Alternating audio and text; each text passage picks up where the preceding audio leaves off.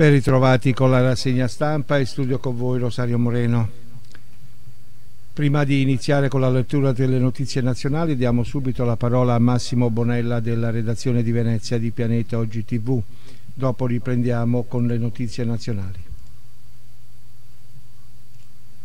In tutta la giornata di ieri, cielo terzo in Europa. Chi avesse mai pensato che in serata ci fosse all'improvviso un violento temporale da mettere in ginocchio un'intera città. Il caso di Auronzo, dalle 20 infatti, ieri sera, i vigili del fuoco eh, erano eh, in, eh, a lavoro eh, per un violentissimo nubifragio che ha interessato particolarmente i comuni di Auronzo di Cadore, Danta di Cadore e Santo Stefano.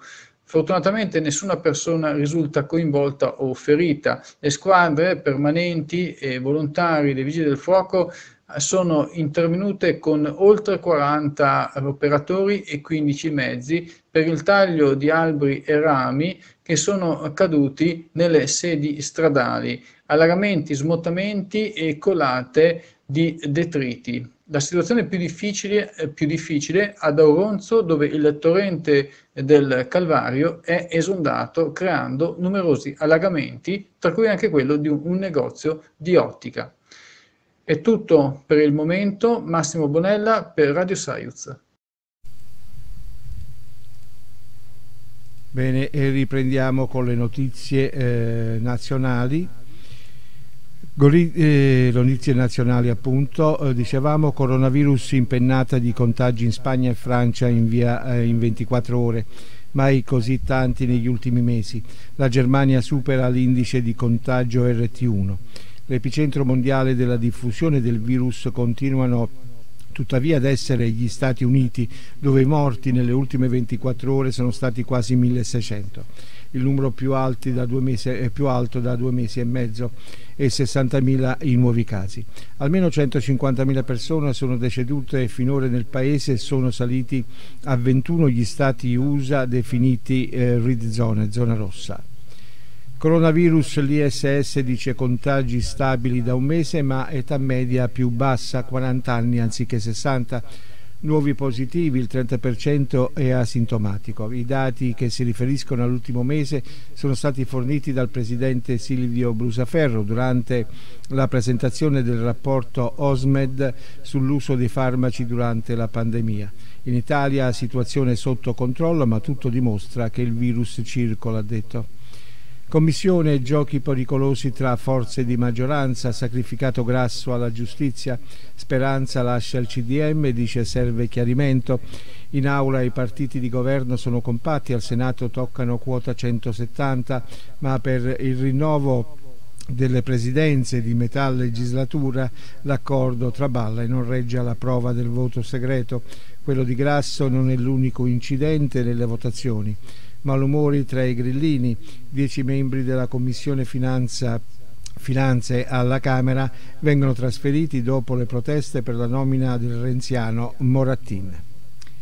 Scostamento di bilancio e piano di riforme. La maggioranza al Senato tocca quota 170, come abbiamo detto, c'è il via libera anche alla Camera. Il Parlamento approva anche il piano delle riforme per il Recovery Fund. Gualtieri ha detto che ha atteso un ribalzo del PIL del terzo trimestre del 15%. Forza Italia si allinea ai sovranisti dicendo aperture su fisco ma vaghe. Tra i sì anche quello di Lady Mastella, l'ultima trasfuga tra i forzisti. La reazione di Conte è che ha detto è andata bene, la maggioranza è forte. Un funzionario onesto e il Trojan, gli appalti di due comuni del Friuli nel mirino della finanza e un sindaco ai domiciliari. Primo cittadino di Premariacco in provincia di Udine, Roberto Trentin e altre cinque persone sono state arrestate. L'indagine è condotta dalla Guardia di Finanza di Udine su irregolarità nella gestione degli appalti del comune assieme a quello di Torreano, altra località friulana alle porte di Udine ipotizzato anche il reato di peculato per l'uso di un generatore di elettricità comunale impiegato da uno degli indagati per una festa privata. Notizie da Napoli e dalla Campania. Contagiati tre camerieri dello Scoglio, ristorante dei VIP a Massa Lumbrezze. Sono state ore di grande confusione, di molta apprensione e anche di rabbia, ma finalmente comincia a diventare più chiaro il quadro che negli ultimi giorni ha fatto scattare l'allarme Covid in costiera dove a metà luglio sono passati per un'escursione i giovani romani provenienti dal Cilento e poi diretti a Capri, alcuni dei quali tornando nella capitale sono stati trovati positivi. Lunedì sera è giunta conferma che tre camerieri del, ristor del, ristorante Lo Scoglio di Marina del Cantone a Massa Lubrense, che ha ospitato il gruppo il 17 luglio, sono positivi e asintomatici. Erano stati sottoposti a controlli come il resto del personale dopo che dall'ASL di Roma era arrivata la segnalazione degli spostamenti dei ragazzi. Torre Annunziata, palazzo a rischio crollo, sgombero per comando vigili e sette famiglie e a rischio crollo il palazzo storico di piazza Nicotera a Torre Annunziata che tra l'altro ospita il comando vigili o prontino. Il sopralluogo dei vigili del fuoco chiamati dall'amministratore di condominio ha riscontrato una, eh, una, una, sezione alla struttura del lato di via Frumento che secondo le prime ipotesi sarebbe partita dal cedimento delle fondamenta. Per questo motivo i pompieri hanno allertato tutti i condomini allo sgombero dello stabile. Gli stessi caschi bianchi che dovranno trovare una nuova sede hanno notificato il provvedimento a sette famiglie ed uno studio medico su 13 appartamenti presenti. Le 21 persone hanno iniziato a lasciare l'edificio. Notizie dalla Puglia. Dopo il caos in consiglio il centrodestra attacca Emiliano, dicono pagliacciata sulla doppia preferenza, pronti ad approvarla in un minuto. Le diamo alla Puglia questa doppia preferenza, il resto è una manfrina di un disperato che sa che il terreno gli frana sotto i piedi.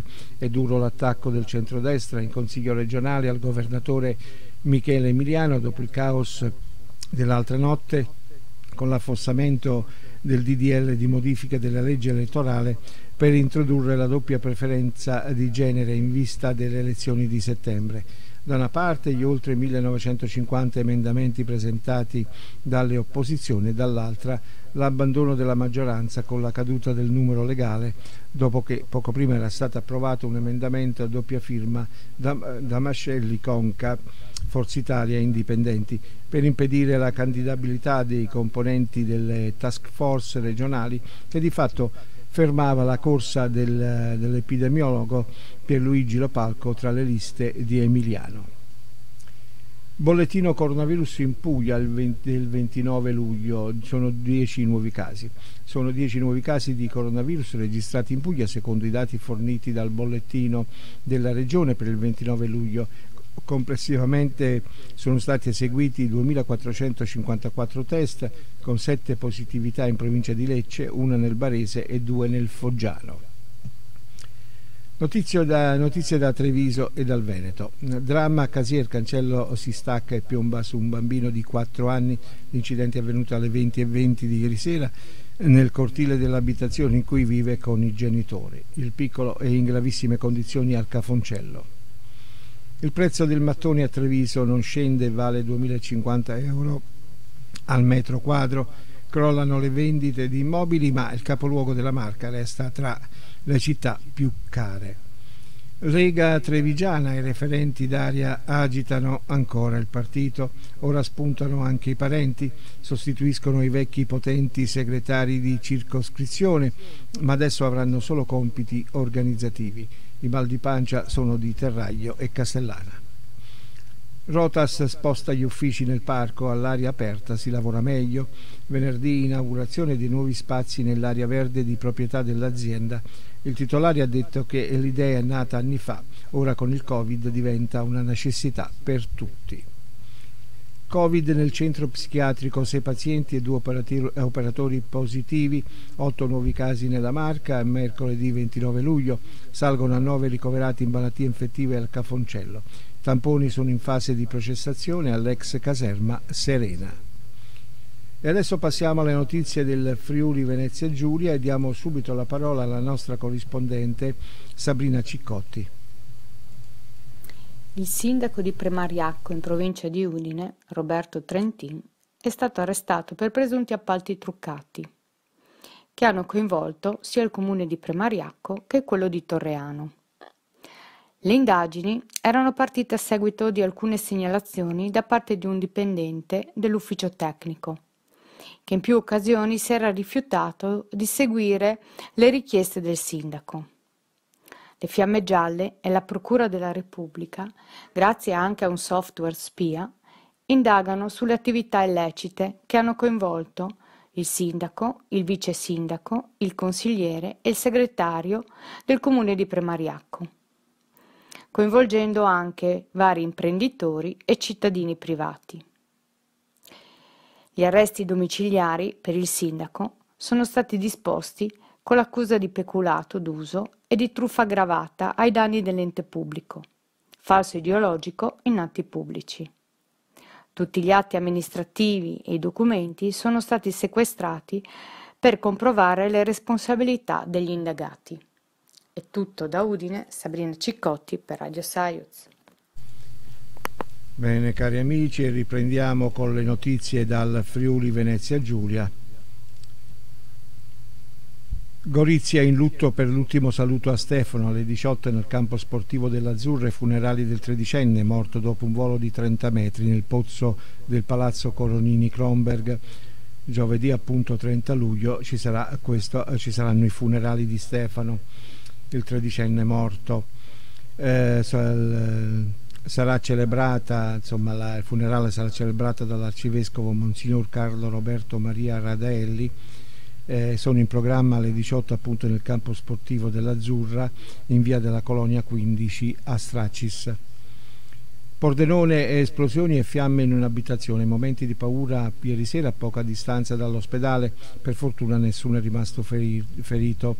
Come dicevamo poco dopo le 19 a Pordenone per due esplosioni c'è stata paura che eh, per due esplosioni che sono che ci sono state appunto che hanno dato eh, perché sono diventati un incendio in un'abitazione in via del Marinario a poca distanza dall'ospedale Santa Maria degli Angeli. Incidente sulla Napoleonica, ferite mamma e bimba di tre anni, scontro tra due auto in comune di Bertiolo all'incrocio tra la regionale e via Stradalta. Scontro tra due auto lungo la regionale 252 e intorno alle 18.45 nel comune di Bertiolo all'incrocio tra la Napoleonica e via Stradalta. Immediatamente è stata inviata la squadra dei Vigili del Fuoco del distaccamento volontario di Cotroibo. Giunti sul posto i pompieri hanno trovato le due vetture incidentate, una delle quali trasportava una famiglia composta da marito, moglie e figlioletta di tre anni. Raffica di incidenti lungo la stradale del scusatemi, raffiche di incidenti lungo le strade del Friuli occidentale lungo la regionale 251 c'è stato uno scontro tra camper, auto e moto con due centauri feriti e un anziano investito ed è trasportato in ospedale. Quindi mattinata intensa per i vigili del fuoco dell'Alta Pordenonese che sono intervenuti per prestare soccorso in tre diversi incidenti appunto che si sono verificati in successione. Sfruttamento del lavoro in un ristorante etnico nei guai i due gestori del locale pordenonese pagavano i dipendenti 3 euro all'ora utilizzando il nero. Sono accusati anche di filmati illegali e minacce. Sfruttamento del lavoro in salario medio all'ora di circa 3 euro è questa l'accusa ipotizzata dalla Procura della Repubblica di Pordenone nei confronti dei due titolari di un ristorante etnico con 10 dipendenti.